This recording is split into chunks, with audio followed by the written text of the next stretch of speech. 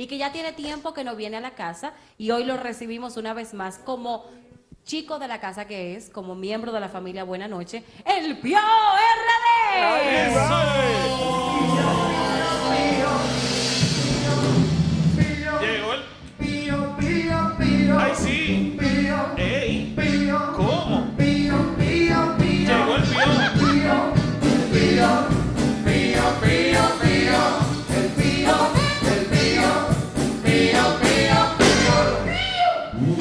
Y con el Pio RD vamos a hablar sobre las cosas que le pasan a una persona cuando está quejada de salud.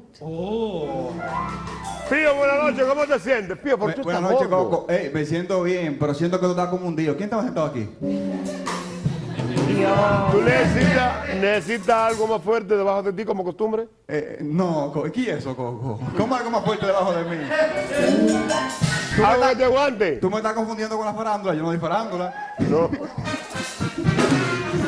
Pío, síntomas de un enfermo. Tú sabes, Coco, que yo tenía tiempo que no venía porque ta- estaba enfermo de salud, Coco. ¿Qué tú tenías? Yo tenía una neuropatía sistemática del sistema congénito. ¿Qué sabes? Eso, ¿Qué sabes? eso es pituita. Lo que pasa es que ese, es el nombre científico. Yo tenía pituita. Ah, pues tienes que Mira. comprar cosas buenas. Coco, pasé más trabajo que el No diablo. No me entendiste. Tengo que comprar cosas buenas, ¿no? Cuidado. Ay, Dios mío. Coco quiere meterme en el medio hoy. Coco, estaba enfermo, estaba un poquito aquejado de salud. Y tú sabes que en este país se pasa demasiada lucha cuando uno está enfermo, pero mucha lucha. ¿Cuáles son las luchas? Las tres primeras que tiene una persona cuando está enfermo. Lo primero es el seguro, que el seguro mío me cubría todo menos lo que yo tenía.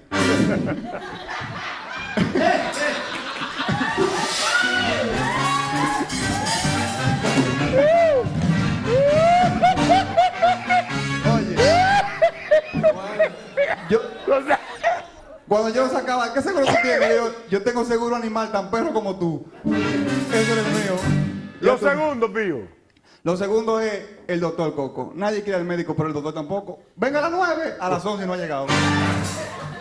¿Por qué ¿Y qué es lo que pasa con el doctor? Y me dice la secretaria, él está en una cirugía. Y digo yo, yo no puedo poner cirugía en un horario diferente a la consulta. ¿Por qué no puede dividir en dos? Pero ¿por qué esa vaina que siempre los médicos llegan tarde? Porque uno es paciente y tiene que esperar. Porque si uno...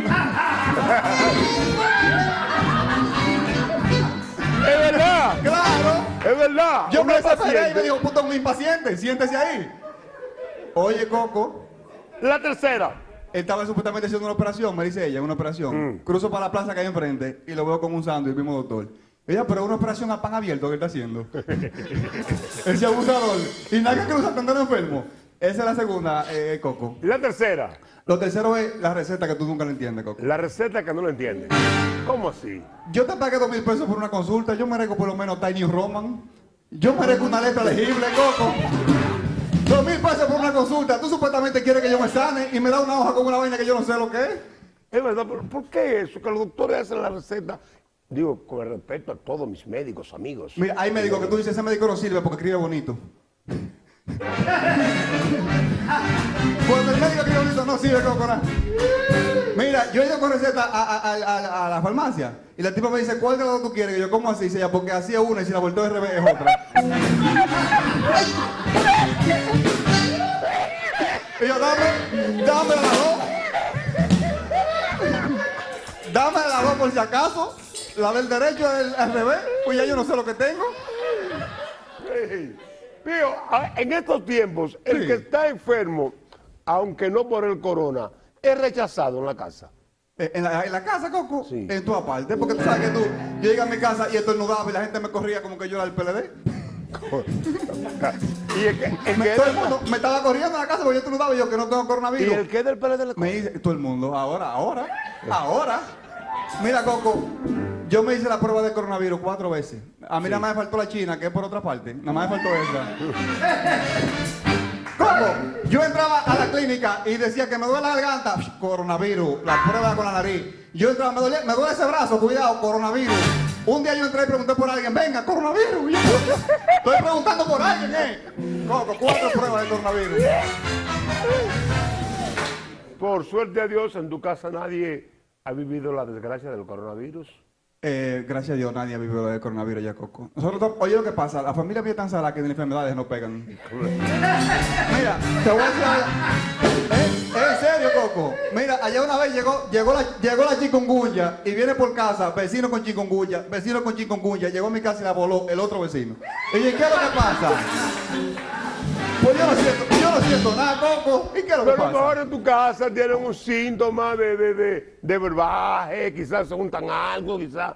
¿Qué Yo no verdad? sé si es porque está sin pintar la casa que las enfermedades no brincan. Pero, Dios mío, Coco, y lo que más decepciona a uno y desencanta es tú gastar como 10 mil pesos en análisis y salir sin nada. No, pero es mejor. Es mejor, pero esos cuartos se podían haber evitado. Claro, no se podía tú haber ahorrado esa vaina. Tú buscando análisis por ahí, no tengo nada y no tengo nada. Y esos cuartos, ¿quién los retorna para atrás? Pero si tú estás enfermo y sales con alguna molestia o sales con ¿Está algún justificado dolor- los cuartos? Pero tiene entonces que gastar más dinero. Claro, yo fui donde el doctor y le dije, doctor, vea, me topo aquí, me duele.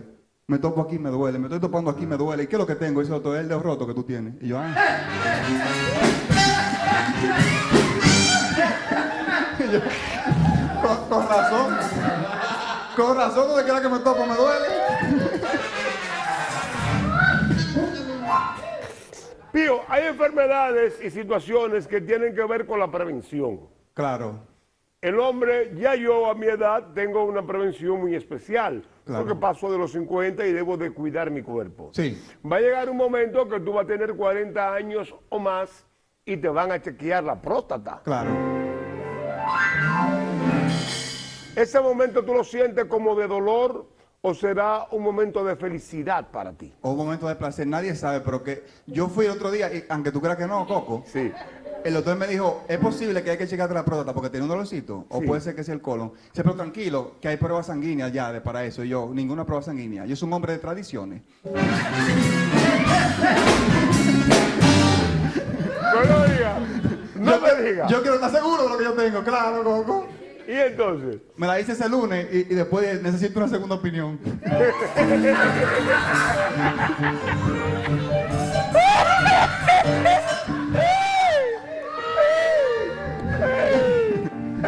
ya tú sabes, Coco.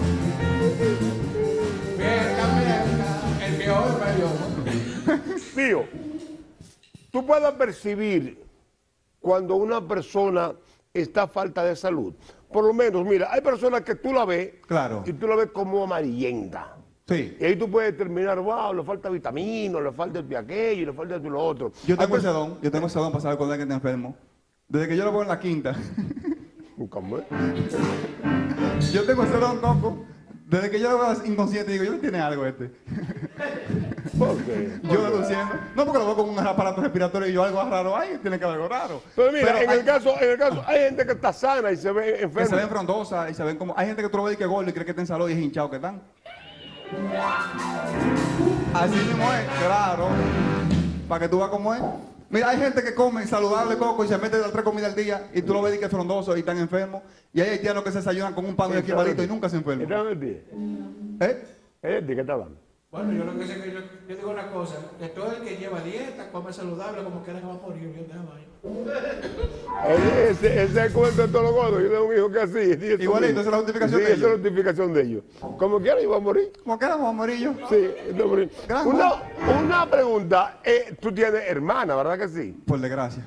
Pero, pero no es tu hermana. Tengo una hermana, pero ya estamos discutiendo. Mamá y mi papi están en salud y ya estamos hablando de herencia.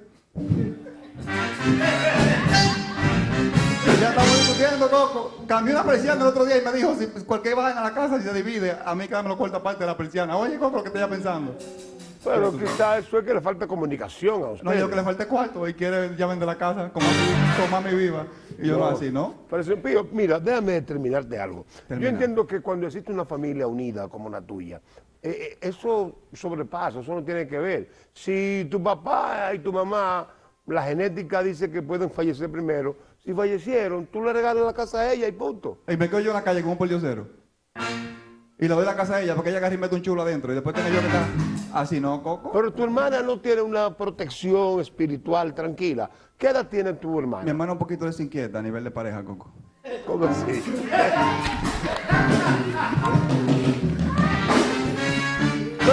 si tú tienes un amigo, ¿tú no le recomiendas a tu hermana si él está enamorado de ella? Si quiero salir de él, sí se la recomiendo, para que lo lleve el diablo. Coco, la hermana mía ha dado unos puestazos el pecueso de que te tira ¿Y ahí. qué edad ya tiene tu hermana? Y creo que son 30 años que tiene. ¿Y Ya todavía 30. vive con ustedes? No hemos podido salir de ella, no hay que se haga cargo.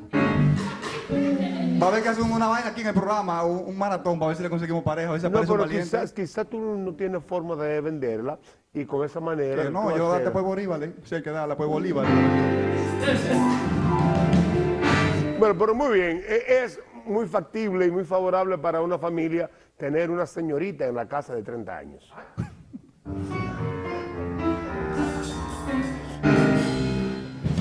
Pero ¿de qué oído estamos hablando? ¿De, de qué oído estamos hablando?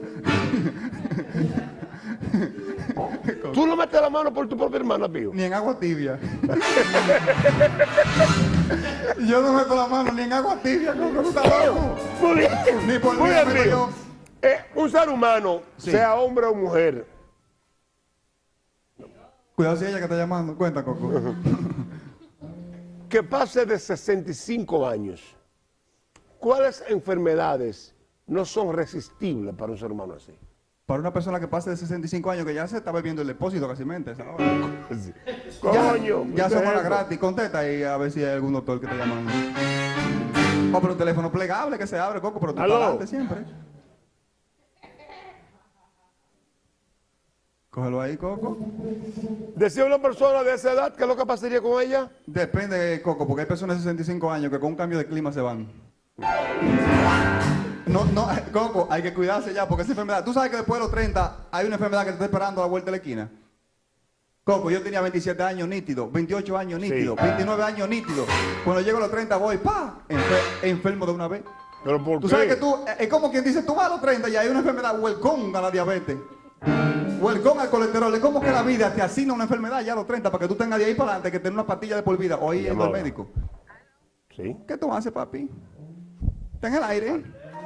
Le tiro ahora para atrás. Está bien, tírame, que tengo que hablar contigo. Estoy No, no, traduciendo no, lo que no. escuché, estoy diciendo lo que escuché. Tío, mira, el hombre ya que tiene estabilidad de hogar como yo, a esta edad, no inventa con llamadas casadas considerables. En ese teléfono, No, pero yo no tengo un teléfono. que se sepa. Pío, tú no puedes pensar que la ruta de, de vida tuya yo puedo manejarla. O sea, tú vives una vida, no sé si desorganizada, Pero no tienes la costumbre de estar con una sola mujer. ¿Qué tiempo tú tienes que no estás con una sola mujer? No, Coco, yo tengo uh, como... Que no estoy con una sola mujer. Sí. La vida entera. Coco, es que yo no puedo comer arroz blanco todos los días, eso me agita. No, no, no. Tú tienes que entregarle tu amor, tu corazón a una mujer que tú entiendas merezca todo lo tuyo. Pero si Jesús, que fue Jesús, Sí. de dos panes y tres pecados, le repartió a cinco mil personas, yo no puedo darle por lo menos a cinco mujeres este pecadito.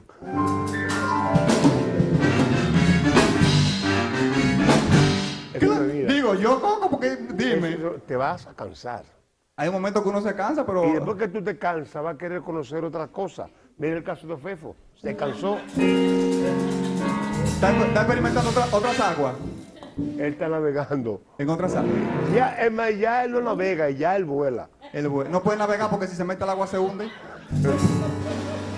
Pío, aterrizo con el tema. Los síntomas reales de un enfermo. ¿Cuáles son y si es por año, si es por etapa? Tú sabes que los síntomas lo buscan en los ojos siempre, te alumbran con una linternita. ¿Cómo así? Tú no has visto los doctores que te abren la pupila y te abren con una linterna para ver ¿Para lo que tú eso? tienes. Para ver lo que tú tienes. Tengo un amigo mío que es tuerto y nada más tiene un ojo. Y cuando lo chequean, dijo el doctor, tú estás medio enfermo.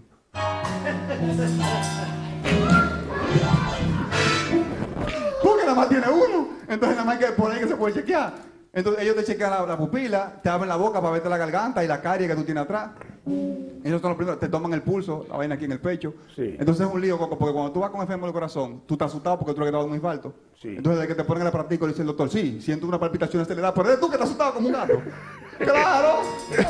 Y desde que dicen esos números, tú no sabes, 120, 180, y estoy mi madre, me queda poco. Agarrado y con una vaina que te ponen en el pecho y te encueran y de todo, Coco. A ti. Lo más grave, Coco, que hay en el médico es cuando el doctor te dice, póngase esa batica y póngase la, enganche esa bata. Y cuando lleva una bata con un rajadito para atrás y yo, esto no nada bueno. Esto no nada bueno. Yo dije, porque si el rajado está adelante, si el rajado está adelante, Coco, se va a gozar. Si el rajado está adelante, yo voy a gozar, pero con un rajadito para atrás.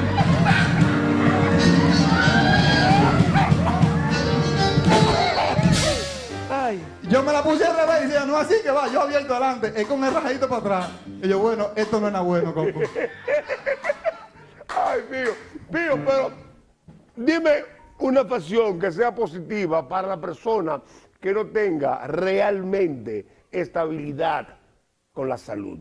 Hay personas que cuando no sufren de la garganta, sufren del pecho. Sí. Cuando no sufren del pecho, sufren del corazón. Cuando no sufren del corazón es que tienen artritis. Cuando no tienen artritis es que sufren de la vista. Cuando no sufren de la vista es que les duele la cabeza.